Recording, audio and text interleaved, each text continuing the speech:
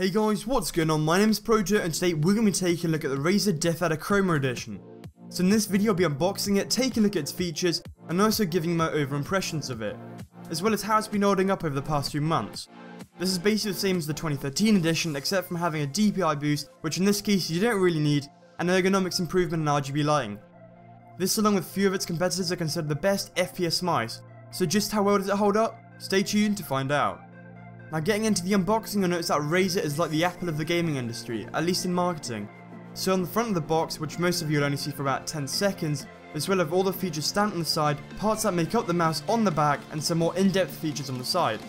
Opening the box, you get what we're all used to seeing, being some cards telling you about Razer's loyalty reward scheme, as well as the usual congratulations, there's no turning back card. Besides this, you also get a quick start guide for the Death Adder, and two chroma stickers with clear backgrounds. So I've broken this thing up the same as the Razer Naga review being ergonomics, build quality, design, features and the software. So starting with ergonomics and comfort, this mouse is pretty comfortable. It sits on the hand nicely and for an ergonomic mouse, this is to be expected. It is quite a big mouse though compared to the Naga, so whilst the Naga is aimed at small to medium sized hands, this is somewhat medium to large. So it's a much longer and has a sort of arc shape which your palm rests on. The plastic isn't rough on your skin and the anti-slip rubber pads on the side are well placed as well and whilst it doesn't have a fourth finger rest like the Naga, it feels just as comfortable without one. That said, something a little softer would have been nice. Now in terms of build quality, this mouse is plastic and whilst it is a hard plastic, it does feel a little less premium due to it being so lightweight as well. It does have a nice braided cable and a gold plated USB, and the buttons do give that clicky sound and are extremely tactile.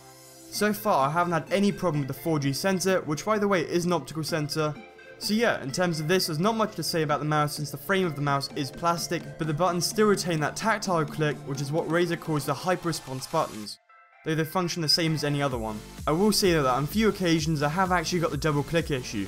I don't know what that's about, but I've heard some people have the same problem.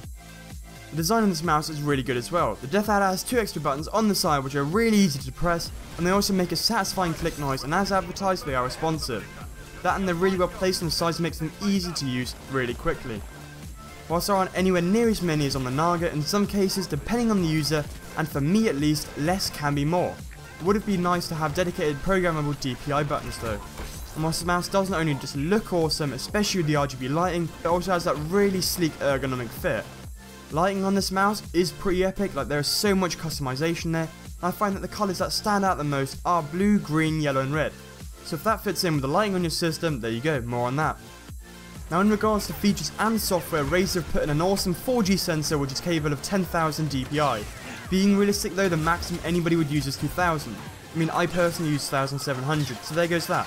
So yeah, that high of a DPI is pretty much just a gimmick, but it does allow for accurate movement in general, even at a low DPI.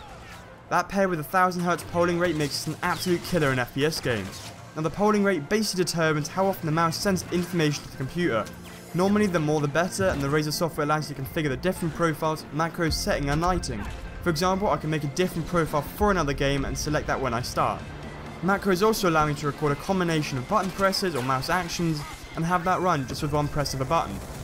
Settings is where I can adjust my DPI, mouse surface, polling rate, etc.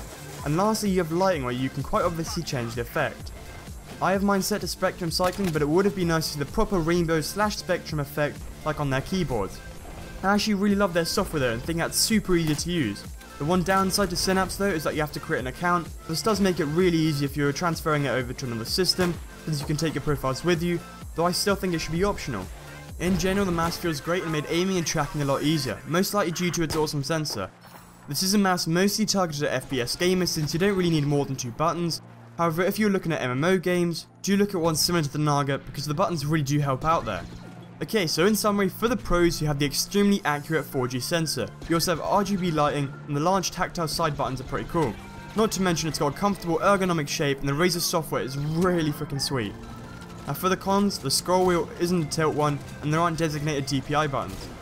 That and the build quality, while it is strong, is made entirely of plastic, which does distract from the premium product. Now in general, I highly recommend this mouse, especially if you can find it at select retailers for somewhat of a cheap price. As for being the best FPS mouse, I do genuinely think it's up there, but it's all down to user preference. Before I got the DeathAdder, I did have the Naga and replaced it for this, not because the Naga broke or anything, but because I found that I wasn't utilising the tons of buttons. That and the fourth finger rest, while comfortable made me over aim because it slid too much on the mouse mat. Now if you're an FPS or even an RPG gamer, I highly recommend you check out this mouse. It does have some flaws, but they're not deal breaking. Now anyway guys, this has been Proto, and if you like this video, do give it a thumbs up and tell me what mouse you use. Anyway, thanks for watching, this has been Proto, adios!